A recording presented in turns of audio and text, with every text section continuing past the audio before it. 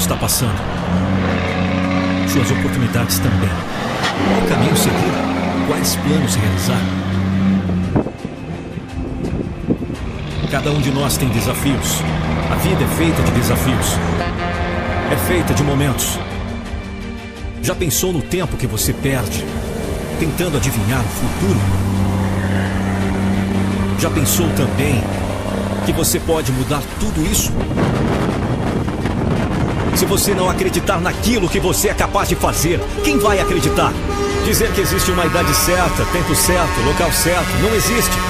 Pode ser que tenha até dificuldades. Mas se você realmente acredita que pode realizá-lo, não perca tempo. Vai e faça. Superar é acreditar no seu querer e no seu poder. Não fique focado em suas fraquezas ou defeitos. Pense nas forças e oportunidades que tem e saiba usá-las da melhor maneira possível. O seu pior adversário é você mesmo.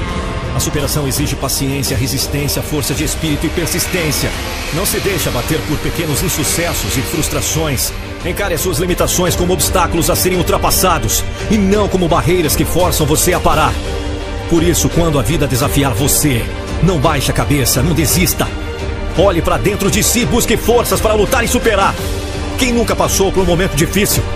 Quem nunca perdeu algo importante? Não é fácil quando nos vemos aflitos em um mar bravo de dificuldades. Você não estará sozinho nessa batalha.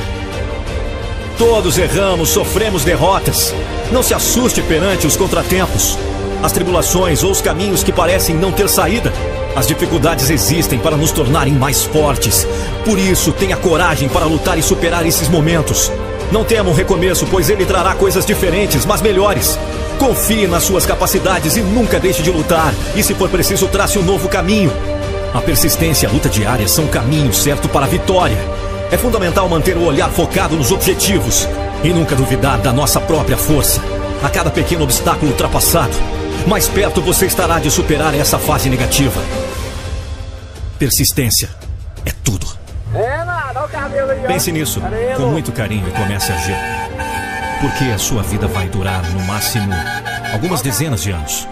E cada minuto que passa é um tempo a menos nessa conta.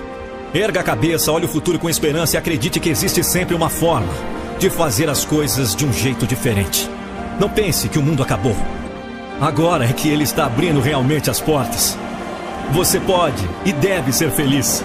E isso está perfeitamente ao seu alcance. Tenha fé, tenha força, lute e acredite que tudo isso em breve será passado de um futuro sorridente.